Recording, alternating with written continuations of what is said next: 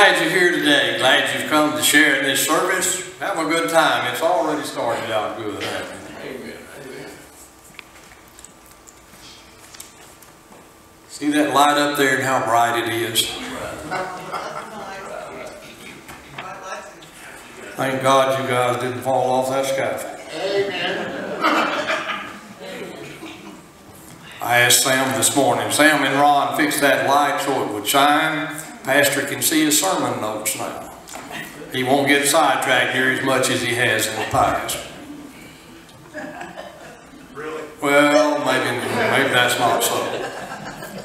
All me blessing Lord. I asked Sam this morning, I said, you didn't near fall off of that. Did it bring back memories from years ago when he did construction work? I think it's a memory he wanted to forget pretty quick.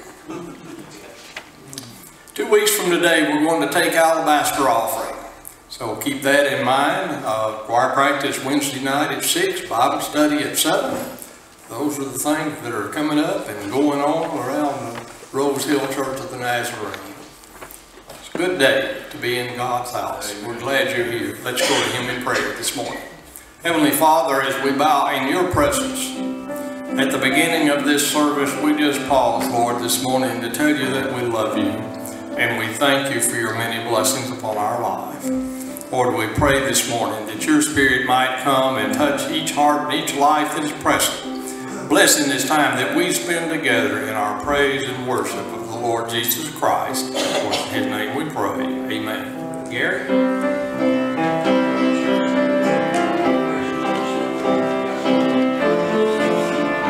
Everybody stand. I will sing the mercies of the Lord sing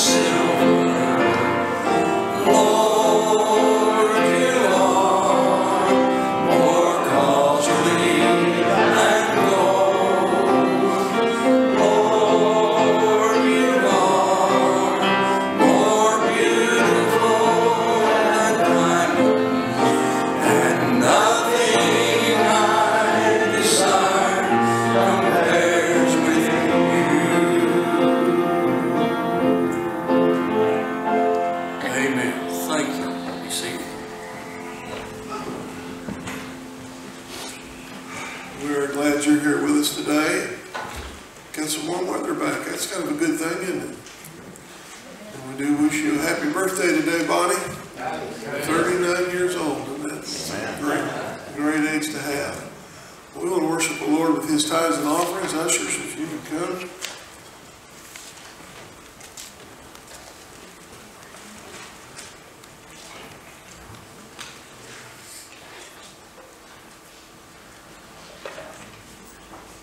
Odie, would you ask the Lord's blessings? Lord, we are thankful for this beautiful day that you're blessing us with. And Lord, we're thankful for this part of our service where we get to uh, take part, Lord, in giving to you, Lord, as you have blessed us. We give you the praise. Amen. All right. I don't know. Lord help them. We're in that ride, sorry. That was Yeah, yeah, yeah. Help them, help them, help is one of my favorite hymns, and it was written a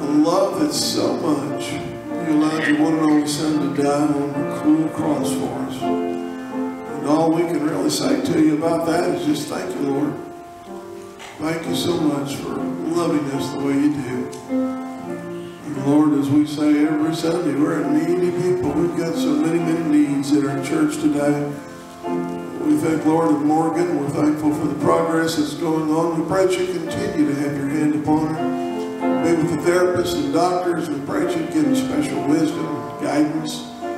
Pray for Terry and O.D., Kevin and Carla and Mason and all the rest of the family that you'd encourage them. And then, Lord, I pray especially for Clara and Maggie and Lucy. These three precious ladies would be here if they could. Pray for Kathy Blue that's got another one of those migraines, and we just lift her up and pray that you touch her in a special way. Continue to have your hand on Lori with this kidney problem that she's facing. Just touch her in a special way. Father, we thank you, Billy and Shirley. We're glad that you've touched them. We pray that you continue to touch and bring healing to both of their bodies. Pray, Lord, for faith, and we pray for Gary that this week will be traveling. Pray that you grant them traveling mercies. Lord, we think of Sarah and Kenneth, the family, they've all got the flu, and we just lift them all up to you. Pray, Lord, that you work some miracles as only you can do. And then, Lord, we, we think of Norma. Pray that you continue to have your hand upon her. Lord, we think of Sam's two sisters, and we just pray that you touch them and be close to them in a special way. And Father, we pray for George and Carol Lee that are both going through some physical problems, and we pray that you just touch them as only you can do. And then, Lord, uh, I look at our altar and I see parents and grandparents down here that have unsaved loved ones that are praying for them, and I just pray that you touch them. Pray for Melissa, Lord, that you touch her with the health health issue she has on her foot. Just be close to her. Continue to touch Stephanie with the health issues that she's facing. And then, Lord, we think of our country. We lift our leaders up. We pray especially that you would send some special guidance to their hearts and minds, starting with our president, our vice president, our Congress, our state, county, and city leaders. We pray for the Church of the Nazarene, our general superintendent, that you just bless them. We pray, Lord, that uh, you'd be with our own district superintendent, Brother Russ and Sister Gail. Bless them. They're in meetings this week, and I pray that you just bless both of them physically and spiritually, and may they come back refreshed. And then, Lord, we pray for these that are at your altar. You know what's going on. We just pray in a special way that you'd meet them right where they are. Undertake for the need that they bring to you today. Pray you just work it all out. We know there's nothing that's too difficult for you. We thank you, Lord, for this little miracle baby that's up here at 10 year old now. The Lord has just touched in such a special way. And Sarah Grace, just touch her bless her. And Lord, we just want you to know we love you. Continue to touch Vicki with this back problem that she's dealing with. Just touch her in a special way. And then, Lord, undoubtedly, I've probably forgotten some, but I'm thankful that you are one who never forgets. Lord, as we pray Sunday, we ask now that you walk around our altar and up and down each pew. And would you give each one of us that big daddy's hug that we need? And again, we want to ask you to bless America. I pray, Lord, that you would help us to realize that we are one nation founded under God.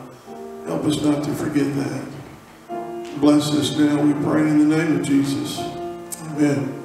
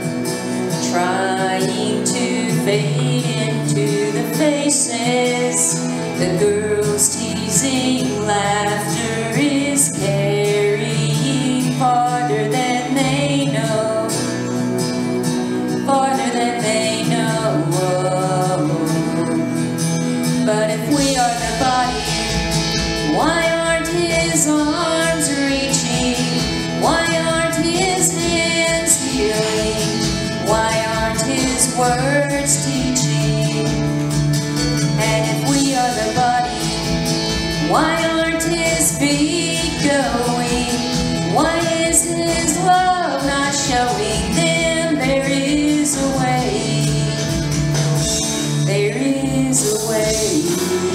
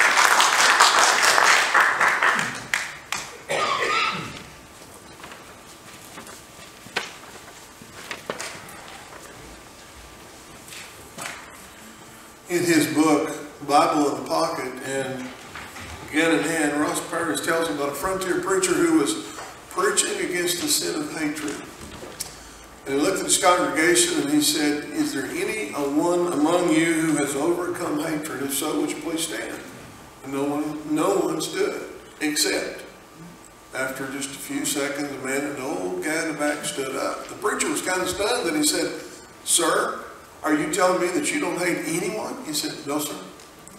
He said, Well, that's quite a testimony. Would you mind telling us the secret? The old guy kind of grinned, and here's what he said. Well, all those skunks have done me dirty, and all those scoundrels, they're all dead. Now, undoubtedly, we're not going to get rid of our enemies the same way, are we? We're just going to have to forgive them. What is forgiveness? Well, generally, forgiveness is a decision. That's something you, you, you make up here. It's a decision that you're going to let go of resentment and thoughts of revenge. Now, the act or the hurt or whatever it was that offended you will probably always stay with you. You'll always remember it. But when you forgive the person who offended you, it helps let loose of the grip that it has on you. And it helps you focus on more positive things in your life. Forgiveness can even lead to feelings of understanding, empathy, and compassion for the one that hurts you. Now, forgiveness does not mean that you deny the person's responsibility for hurting you, or that it doesn't minimize or justify the wrong, but you can forgive the person who's hurt you without excusing the act. When you do that, forgiveness brings us a kind of peace that will help us go on with life. Do you know there are benefits from forgiving someone? There's some statistics that talk to you about forgiving. When we forgive, we let go of grudges, we let go of bitterness, and when we do that, it helps restore happiness to our lives, health, and peace. Here's what some of the, the stats are. Forgiveness can lead to healthier relationships. It can give you greater spiritual and psychological well-being. It gives you less anxiety, stress, or hostility. One of the things I've learned a long time ago, when someone hurts you, and you know, usually the people that hurt you are people you're close to. Might be a best friend, it might be a family member, might be somebody that you really have a lot of confidence in. They do something that just tears you apart. And so if you don't forgive them, here's what happens. Every time you run into them, you feel like running into them. Every time you see their face, every time you hear their name, you relive that hurt. And so what it amounts to, when you don't forgive someone who's hurting, who's hurt you, you are allowing them to hurt you over and over and over and over and over and over again. So why in the world would you want to give them that kind of power? Forgive them and let go of it. Another thing the medical system tells us there are fewer symptoms of depression when you forgive. The stronger you have a stronger immune system, you have an improved heart rate, and you have higher self-esteem. Why in the world is it so easy for us to hold on to grudges? And if you don't think we do, just think of little kids. It's amazing how they don't forget. When you're hurt by someone that you love or you trust, you usually become angry, confused, or just hurt. And if you dwell on that hurtful situation, grudges begin to form. Those that have resentment, and then it turns into bitterness and it takes root. And if you allow negative feelings to crowd out positive feelings, you find yourself just swallowed up in the root of bitterness. And you become a bitter person. And you know, you can always tell when somebody's full of bitterness, can't you? They walk in, you go, how you done today? Fine. Ask me again and I'll tell you the same. Right? You can tell. But when somebody's just kind of let go of it, there's a smile on their face. They can quote Psalm 118, 24. This is the day the Lord hath made. I will rejoice and be glad in it. Because God's in control. And God's going to take care of everything. So I want to share with you this morning for just a little bit is the importance of forgiving one another. And uh, if you would, would you stand with me as we honor the reading of God's Word? I'll be reading from Ephesians 4, 31 and 32, and then Colossians 3, 13. Paul tells us, get rid of all bitterness, rage, and anger, brawling and slander, along with every form of malice. Be kind and compassionate to one another, forgiving each other just as Christ God forgave you. And bear with each other, and forgive one another. If any of you has agreements against someone, forgive as the Lord forgave you. Lord, these next few minutes, I pray that you bless the words that come out of my mouth. I pray, Lord, that you would send some healing to each of us. I ask these things in the name of Jesus. Amen. You may be seated. One man said forgiveness is the flip side of confession. And if confession to others is meaningful, then there must also be forgiveness in return from others. It is crucial for successful Christian living that we be straight in our thinking on forgiveness. I want to share three, very quick, three main points with you. The first point is this, the attitude of forgiveness. Now, there are some basic attitudes that are essential to being able to forgive other people. The first one is refuse to make your heart a harbor for bitterness. That's an act of the mind. Refuse. I'm not going to let you make me mad all the time, every time I see you. I'm going to forgive you and, and let go with it. If you have that sanguine personality, that's real easy for you, and you ought to be amen in me because that's what you do. You get upset easy, but then you're real quick to forgive or seek forgiveness. It's easy for you, but for some of the melancholy personalities, a little harder. But we have to work at it. It starts out with rejoicing. This is the day the Lord hath made. A childhood accident caused Elizabeth Barrett to live a life of married. Their wedding had to be in secret because her father disapproved of it. Well, after they got married, they sailed to Italy where they ended the rest of their life. They lived in Italy the rest of their life.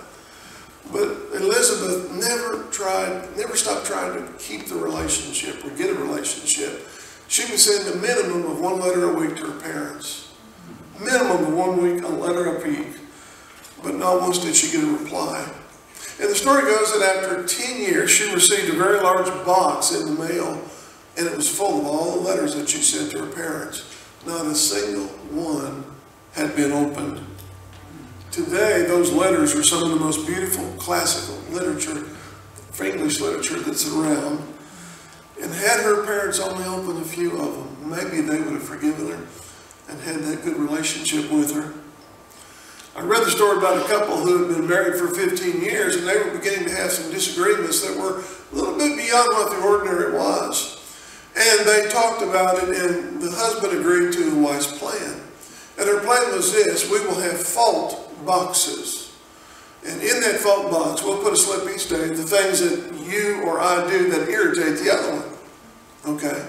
So the wife got right into it. She was real excited about it, and every day she put it in. She put things like this leaving the jelly jar lid off, leaving wet towels on the floor, dirty clothes not in the hamper, and on and on and on and on. You know.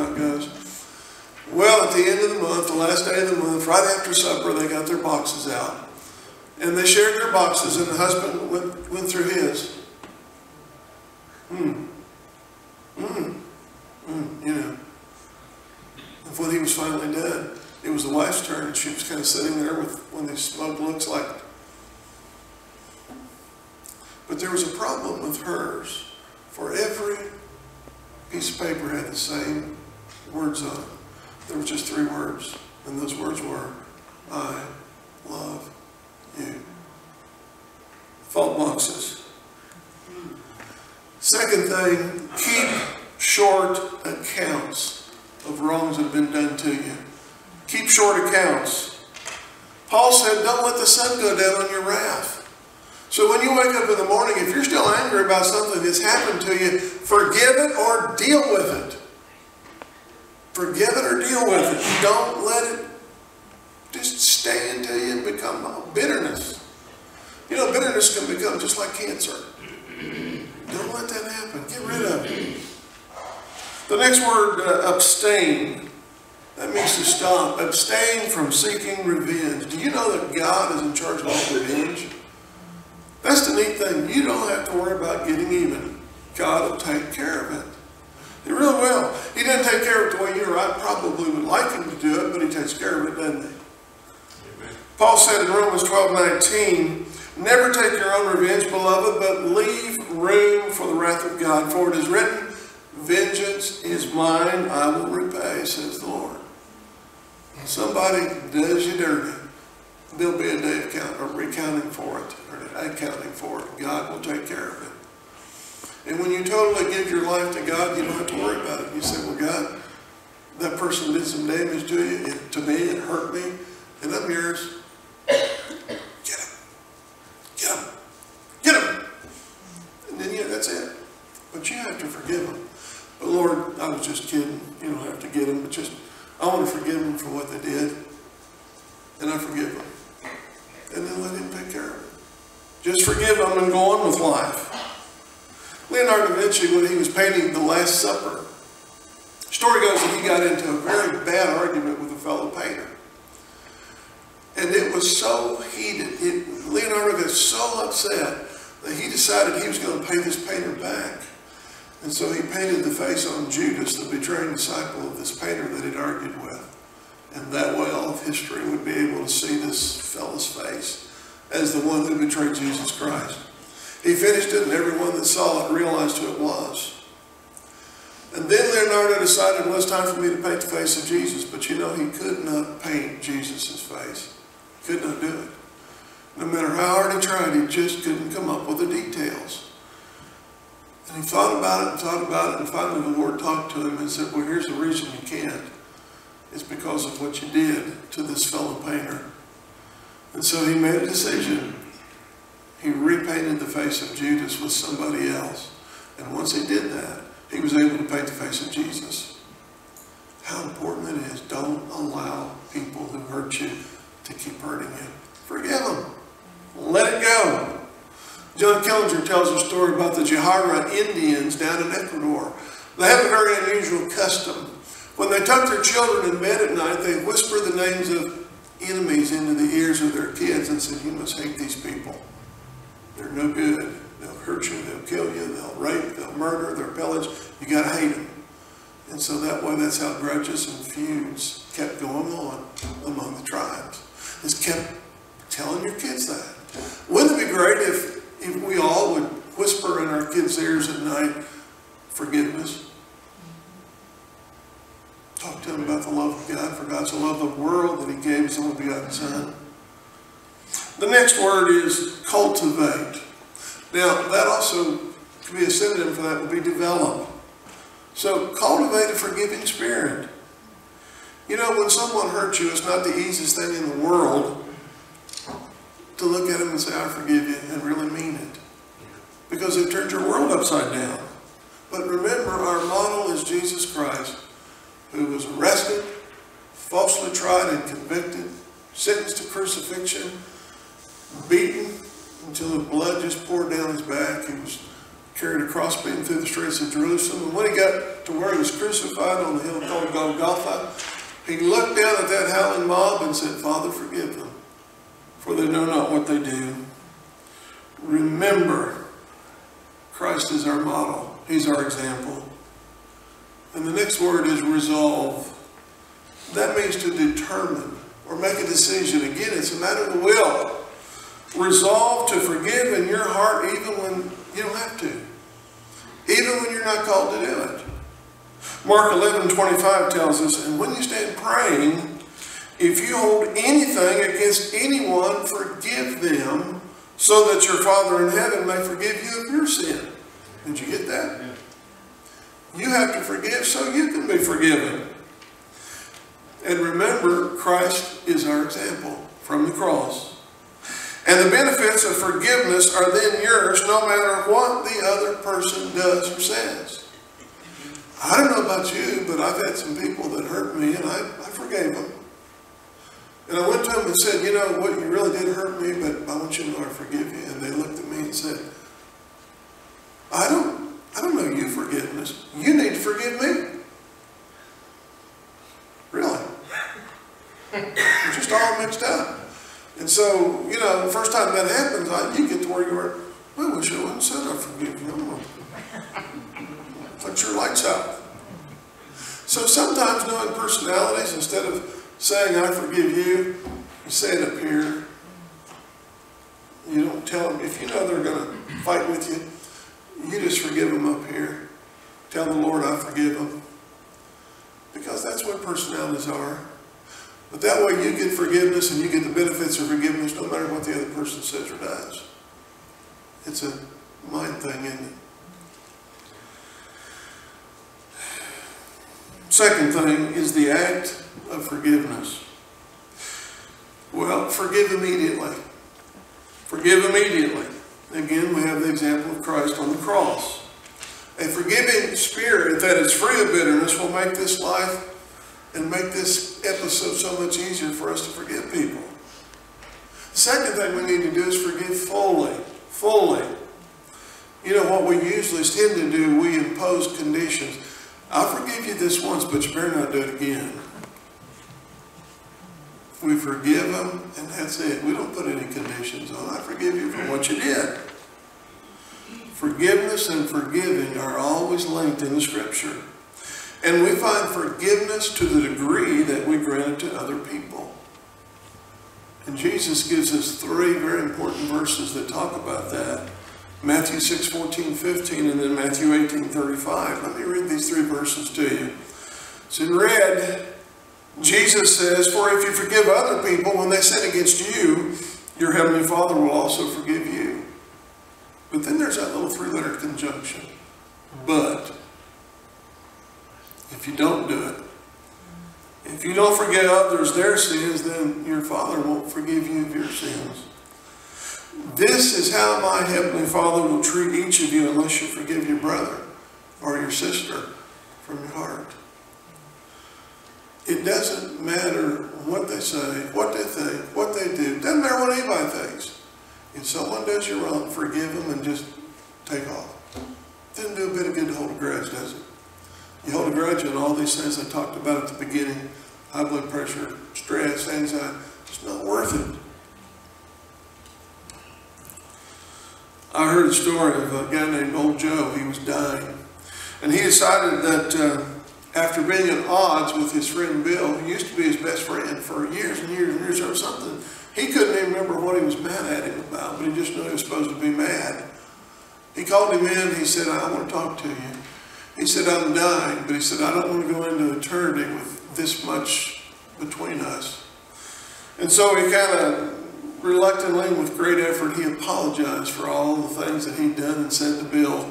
And then he said, um, I forgive you too for your offenses. Well, everything seemed to be going just great until Bill got ready to leave. Bill went out the door and Joe hollered, but, there's that little conjunction again. Remember, if I get better, this really doesn't count.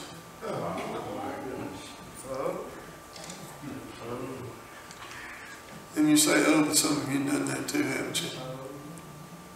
A third thing, failure to forgive may indicate that you've never been forgiven or keep you from being forgiven.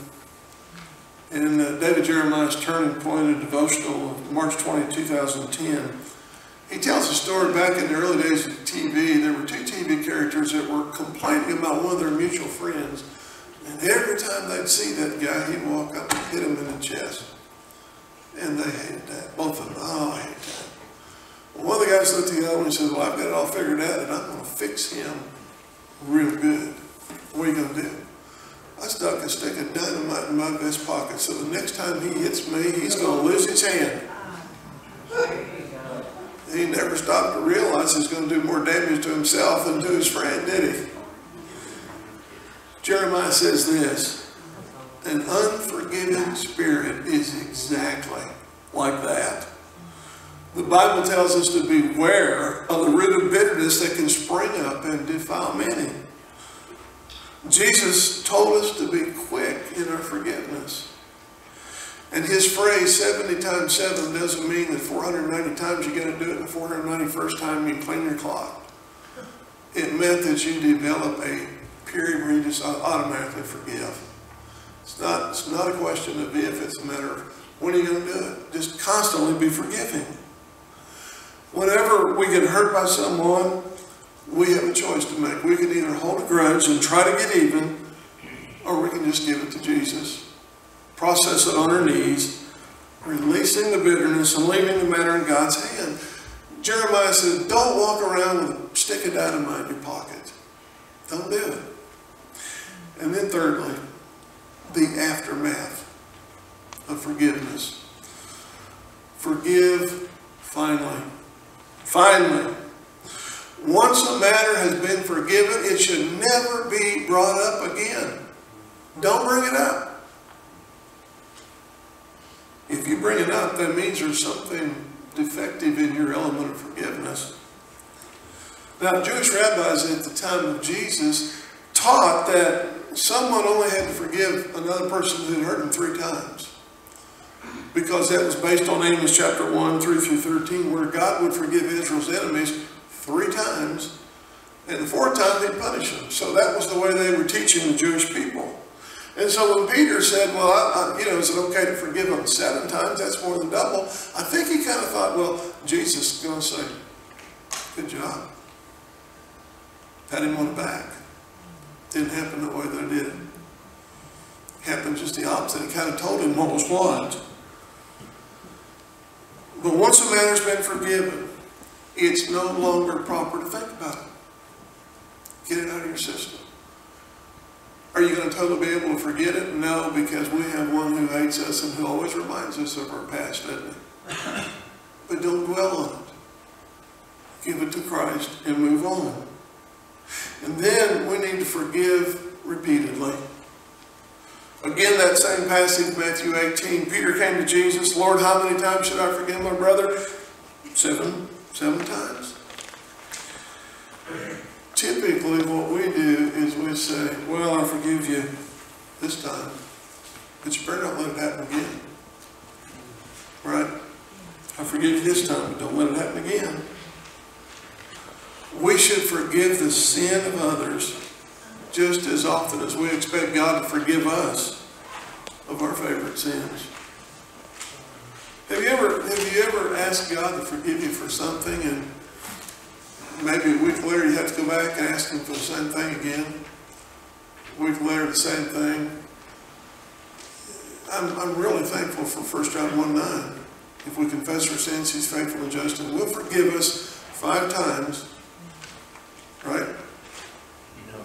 No, there's no limit. And how neat it is that if we mess up, we can go back and ask Him to forgive us. We need to think the same way to people who hurt us, who offend us, who wrong us. There shouldn't be a limit. We just forgive them. And sometimes we look at people that have that attitude and we go, you just make me sick. Nobody can be that perfect. Really? You can. You really can. If our model is Jesus, we can do it, can't we? I can do all things through Christ who gives me. So we can do it if we make a decision up here that we're going to do it. But sometimes, somehow, for some reason, it's just easier for us to hold a grudge. You know, I, sometimes we just think, well, they hurt me, and I'm not going to forget it. Are, are you? Uh, do you forgive me? I'm sorry. Oh, yeah, I forgive you. No, I don't forgive you. Yeah, I forgive you. Inside, I hate your guts. But outside, oh yes, I forgive you. And you go on day after day after day, and every time you see them, you hear their name, you get hurt over and over again. Same thing. That's dumb, you know. And that will cause all these things I talked about at the beginning: the high blood pressure, the stress, the anxiety, the low self-esteem. You know, when you allow somebody to hurt you and you don't forgive them, then you begin to imagine, well, everybody else must be saying the same thing about me. Everybody else must feel the same way that person does. And so when you walk into a room and people look at you, or someone says, Hi Nancy, how you doing? Why? Why? You- got something you want to say to me? You just want to say hi? Why? You know? But isn't it amazing? We sit here and, and, you know, we do it with our kids. When they get upset and we try to point to them how stupid it is, but yet we do the same thing. You guys are just laughing at what I said, but you've been guilty of doing that. I have. And you kind of wonder, hello? Is there anybody awake up there? As my old evangelist used to say, that's dum diddy dum dum dum dum, isn't it? A man once went to John Wesley after a service, and here's what he said. He said, Mr. Wesley, I never, ever forgive people who wrong me. And here's what John Wesley said. Then I hope, sir, that you never sin. If you don't forgive your brother who sins against you, your heavenly Father will not forgive you when you sin. And that's something that I don't think we hear enough of. We have to forgive. That's what being a Christian is. The word Christian means Christ-like. Jesus forgave. And you and I can do that because all things work together for the good, Romans 8, 28. and I can do all things through who loves me. So we can do it. But it's a matter of decision. Am I going to forgive? Or am I going to be weighed down by bitterness, anxiety, stress? You know what? If you stop and think about having the freeness of conscience, the freeness of not being upset with anybody versus all these other problems, which would you rather have? Would you rather have the, the, the free, clean conscience and not being upset with somebody, or would you rather be going around like this? Have to be a rocket scientist figure that one out, do? But again, it's a matter of the will. It's a matter of the heart. It's and Lord, I forgive them. You may be in a situation where they've hurt you so bad that you can't really forgive them. And so the thing you need to do is say, Jesus, I know I'm supposed to forgive them, but right now I really can't. I don't have the power. Would you forgive them for me? And would you help me to grow into that state of being able to forgive? That'll work. How do I know it? I've done that. There's been some times in my life where some people have really hurt me. And you know, we guys, we don't tell anybody. How you doing? I'm fine. You can be fine on the outside and be dying on the inside. A lot of times that's because of unforgiveness. But how important it is if we just turn it over to Him and let Him take care of it. Would you stand with me?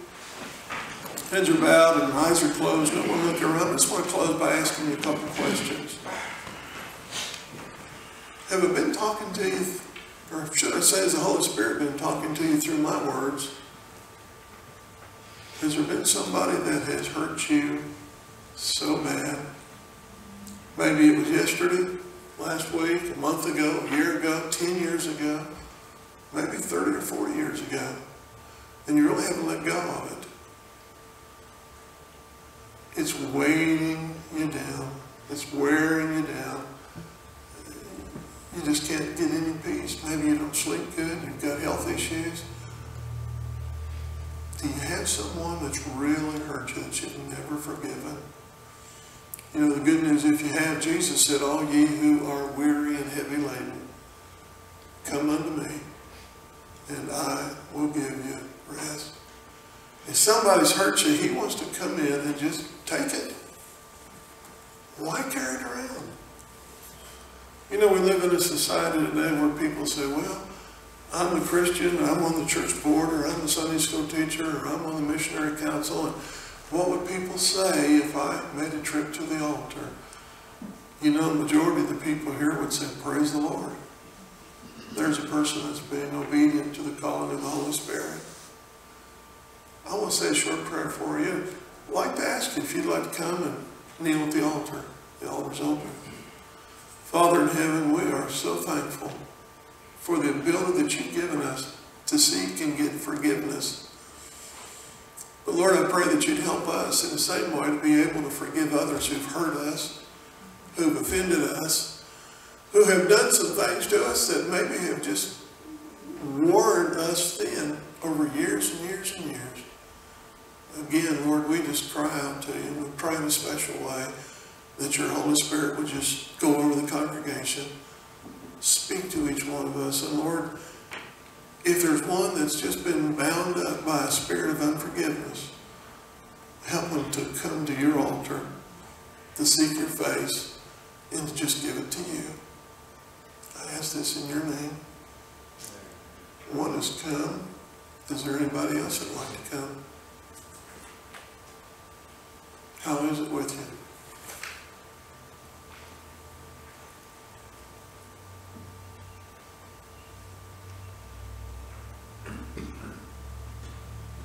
One more's coming. Is there another?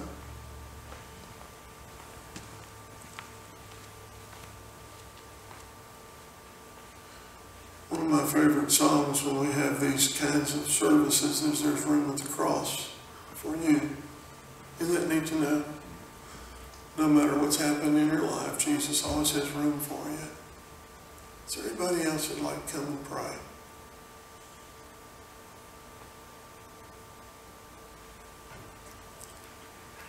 Anybody else? One more.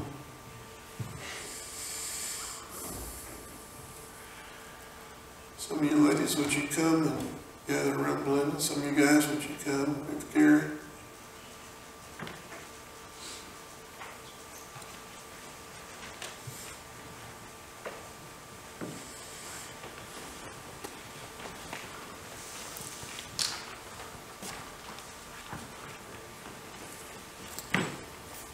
Our Father, what a joy it is to know that we can come to you and we can find solace, that we can find relief from everything that's going on in our lives.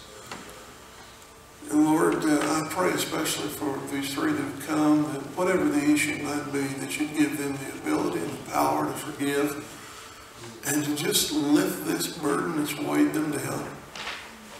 And Lord, just in coming, that's quite an indication that they want your help. They want the relief that only you can give. And Father, I pray right now that you would bring healing to these three, whatever it might be. Lord, you're a great God. You're a God that knows everything. You're a God that wants to give the very best that you have to your kids. And Lord, all of us, we accept that. We ask you, Lord, to just take away that burden that we've carried for such a long time. And Lord God, what a, what a great feeling comes our way when we just forgive and let go of it. And I pray right now, Lord, that these three that have come, that you would answer that prayer that they made that's on their hearts and that you forgive them.